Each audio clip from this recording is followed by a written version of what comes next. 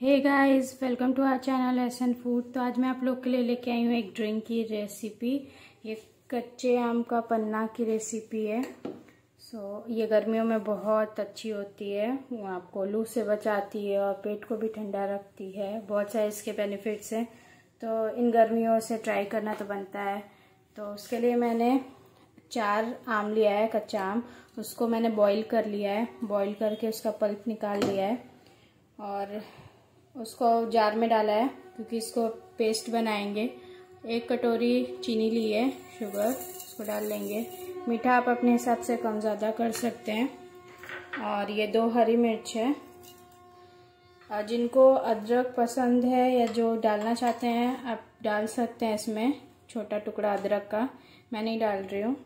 तो अब इसको मैं पेस्ट बना लूँगी। ये देखिएगा इस पेस्ट हमारा रेडी हो चुका है।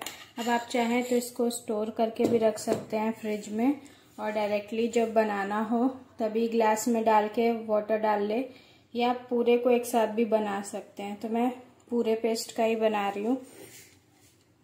तो इसको एक बाउल में मैं डाल लूँगी।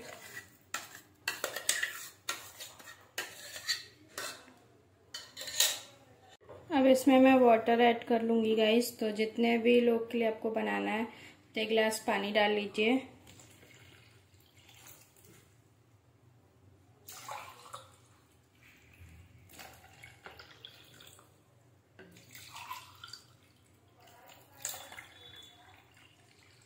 अब मैं इसमें आधा चम्मच काला नमक डाल रही हूँ।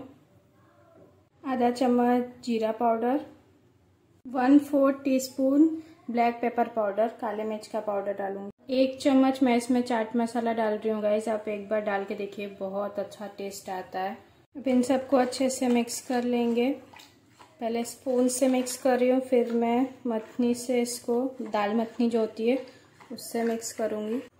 तो अब मथनी से मैं इसको मथ लूँगी। इससे ये अच्छे से मिक्स होगा।